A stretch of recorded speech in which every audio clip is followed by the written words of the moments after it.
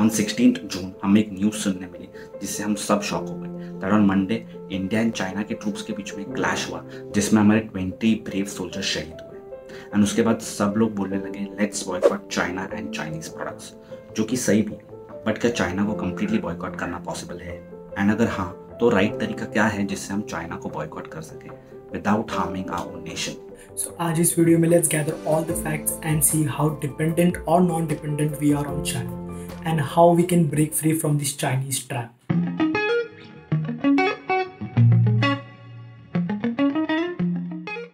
Twenty में the total trade between India and China was around six lakh crore जिसमें से India का export China को था 1.1 lakh crore while China's export to India was around 4.9 lakh crore, which completely states कि हम China पे dependent है।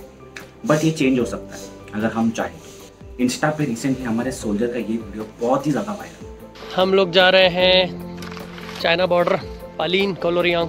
बढ़िया है, आप उधर मस्त रहिए हम लोग इधर। देश के लिए कुछ ना कुछ कर रहे हैं। आप लोग भी उधर थोड़ा सा चाइना के ऐप को डिलीट करो यार। उनके प्रोडक्ट्स को भी बाई कट करो यार। मतलब कि हम लोग भी देशभक्त की तरह यहाँ पे हैं। इतने, इतनी इतनी टफेस्ट प्लेस पे हम लोग ड्यूटीज़ कर रहे हैं। आप घर में रह के उंगलियों से तो उसको बाइकआउट कर सकते हो ना। करो यार। अच्छा लगेगा हमको भी हमारी भी हेल्प होगी। सो so, हमारी गवर्नमेंट ने सिक्योरिटी रीजंस के लिए बहुत बड़ा स्टेप लिया है by banning these 59 Chinese apps जिसमें टिकटॉक शेयरिट और भी काफ़ी पॉपुलर चाइनीज़ ऐप शामिल है। And according to the sources ये हमारे डेटास किसी और कंट्री में भेज रहे थे which is very very risky ये हमारी अभी रिस्पॉन्सिबिलिटी बन जाती है कि हम उसे इलीगली डाउनलोड ना करें ना ही वीपीएन यूज़ करें बिकॉज़ इससे हमारी कंट्री बहुत बड़े रिस्क में आ जाती है। एंड जो ऐप्स बैन नहीं हुए, उनका यूज़ बंद कर दें, ताकि ये रेवेन्यू है ना उन तक नहीं पहुँच पाए।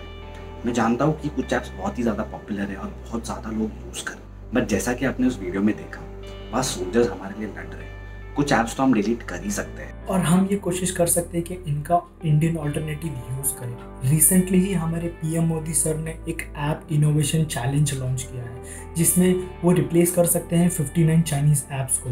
लिंक डिस्क्रिप्शन में दिया गया है आप भी जाके पार्टिसिपेट कर सकते हैं। एक चाइनीज़ जर्नलिस्ट यू जी शिन ने इंडिया को क्रिटिसाइज करते हुए ट्विटर पे ये ट्वीट किया।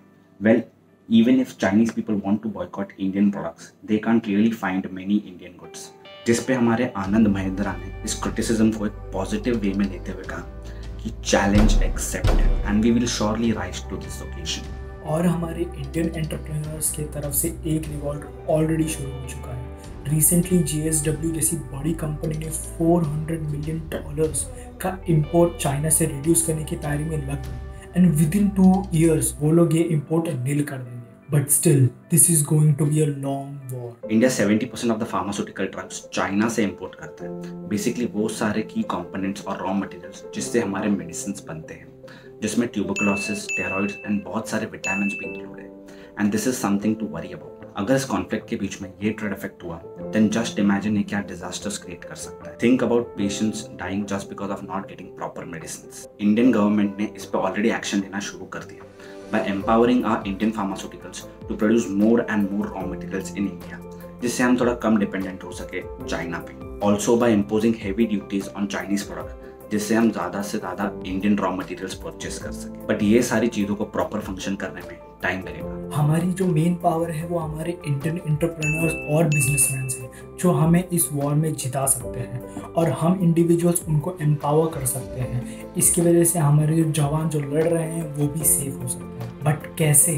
उन्हें प्रमोट करके बिकॉज़ इंडिया में से कितने सारे बिजनेसेस है स्टार्टअप्स है ऑन्टरप्रनर्स है, जिनके पास ब्रिलियंट आइडियाज़ है और उनके बिज़नेस में पोटेंशियल बट जस्ट बिकॉज़ वो मार्केट में आउटरीच नहीं कर पाते, ज़्यादा लोग उनके बारे में जानते नहीं, या फिर उन्हें प्रॉपर फंडिंग नहीं मिलती, वो डिजोल्व हो जाते हैं। हम ऐसे स्टार्टअप बिजनेसेस ऑन्टरप्रनर्स को प्रमोट कर सकते हैं। अगर आपको लगता है कि इस बिज़नेस या स्टार्टअप में पोटेंशियल है तो उसे शेयर आप जैसे दिन में दस, बीस पोस्ट शेयर करते हैं, ऐसे दो, तीन इनके भी पोस्ट शेयर करो, ताकि इन्हें ग्रो करने में हेल्प मिले।